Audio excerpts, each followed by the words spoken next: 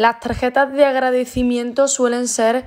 algo muy habitual dentro de las casas reales europeas, ya sea para conmemorar pues, un nacimiento, un fallecimiento o incluso una postal navideña. Habitualmente llevan una fotografía e incluso la firma de quienes la escriben suele ser lo más incluso obligatorio a la hora de emitir este tipo de tarjetas en nombre de ciertos miembros de las casas reales. Sin embargo, lo que ha sucedido con Kate Middleton este 9 de abril no ha pasado desapercibido para nadie. El Palacio de Kensington ha enviado una especie de tarjeta de agradecimiento en la que bueno, de una manera bastante sospechosa no solamente han dejado el hueco de la fotografía, sino que además no va señalizada ni firmada por nadie y deja mm, casi todo a la imaginación. Atentos porque os voy a leer la nota con la que el Palacio de Kensington ha decidido romper el silencio, pero en ningún momento lo hace para dar ninguna actualización relacionada con la salud de la princesa de Gales, ni tampoco para dar más información sobre la batalla en la que está luchando y en la que lleva luchando desde luego bastantes meses ya.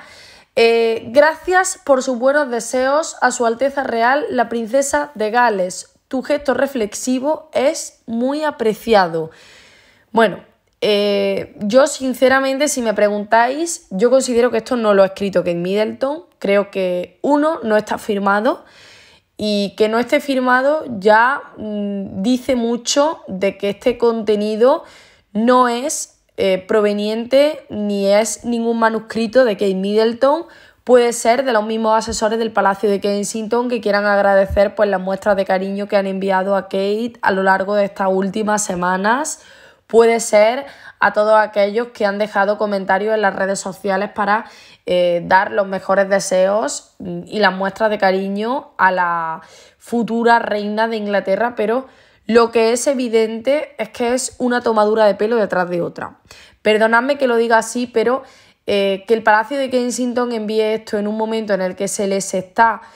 mm, mirando con lupa cada paso que dan, porque ya han sido muchos pasos los que han dado en vano e incluso se le ha señalado de forma directa por mm, utilizar eh, manipulaciones dentro de fotografías mal editadas, eh, que han querido ocultar la verdad, se les ha acusado de utilizar la inteligencia artificial, se les ha acusado de no decir la verdad completa sobre la salud de Kate Middleton, se les ha acusado incluso de, bueno, yo he leído por ahí de, de que le han puesto una doble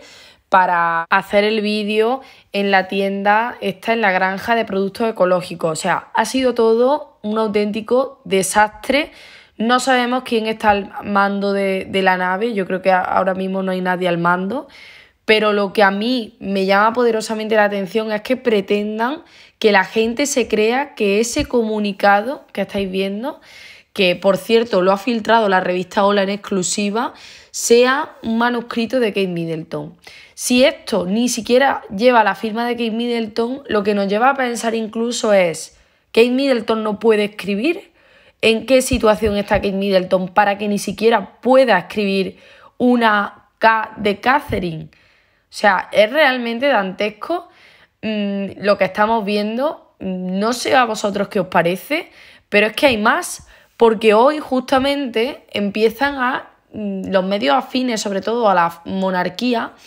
a sustituir la noticia del año, que es eh, ¿Dónde está Kate Middleton? Por el hijo de la princesa Anna, Peter Phillips, quien hace muy poco dio una entrevista exclusiva a un medio australiano hablando de cómo era la presión que se ejercía dentro de la familia real británica a su madre y en general al resto de miembros que, bueno, ya estamos viendo cómo eh, tienen que acudir a los actos oficiales en representación de Kate, de William y del rey Carlos porque ninguno aparece por el trabajo, ahora se confirma que Peter Phillips, el hijo mayor de la princesa Ana, se ha separado de su novia después de tres años juntos.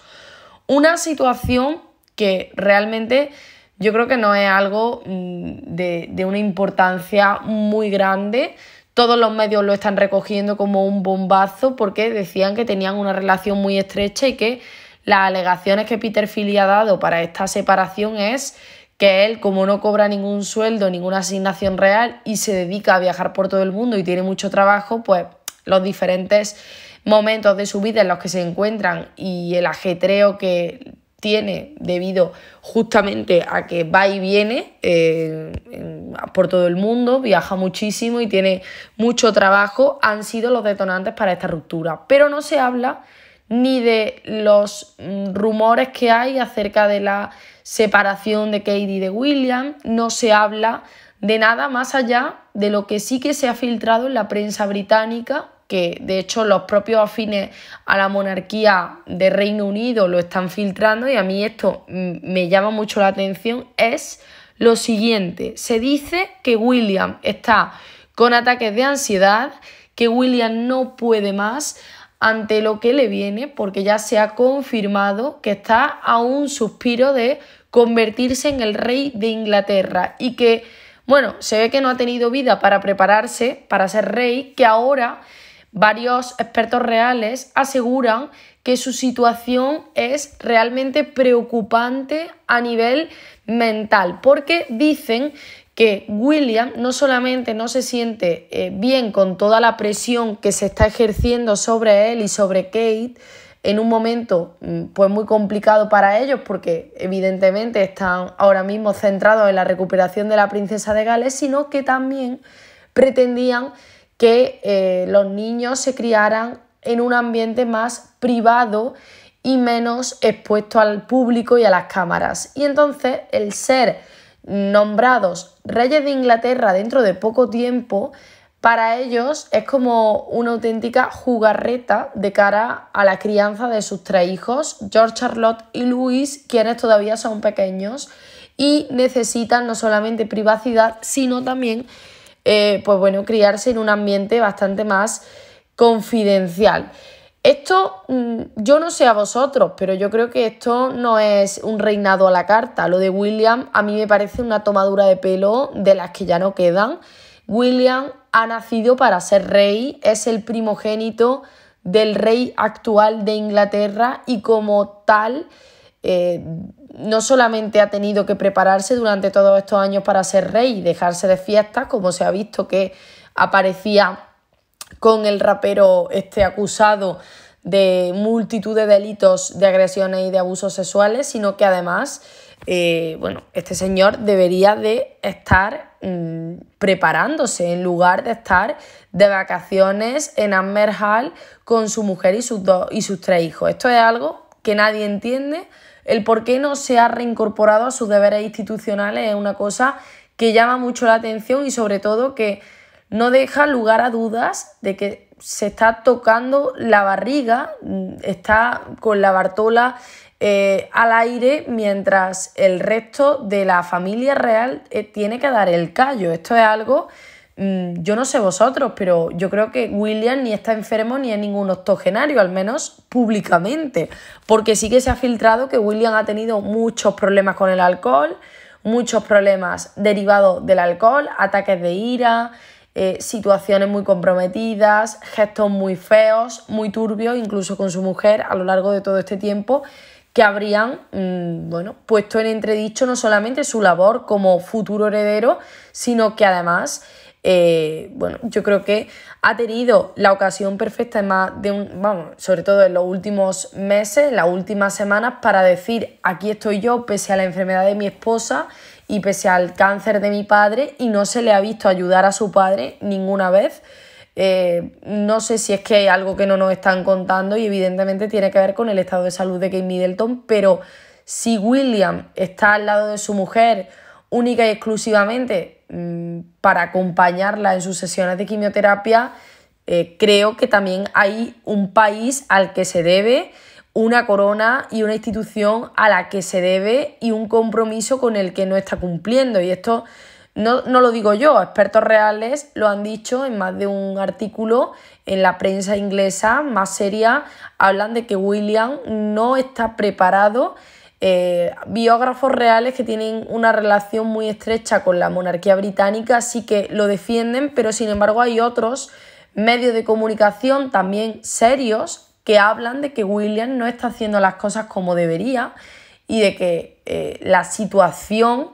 dentro de la corona británica es crítica, que él necesita ser visto para ser creído y que a día de hoy no hay credibilidad de ningún tipo. Ya estamos viendo la credibilidad de William donde queda en el subsuelo. Y bueno, yo no sé qué os parece, pero a mí esta última hora de que hay un comunicado escrito supuestamente por Kate Middleton sin firmar, sin foto, escueto, mm, carece eh, de sentido al leerlo, no tiene ningún tipo de, de afinidad con el lector y de ninguna de las maneras me lo creo, no sé vosotros, pero bueno, cada vez, desde luego, hay más pruebas y más contundentes de que algo grave está sucediendo, de que no lo cuentan y lo peor es que hay una tomadura de pelo tremenda a, bueno, a la población. Así que como siempre os digo, la última hora viene cargada de novedades y como siempre nos vemos en los próximos vídeos.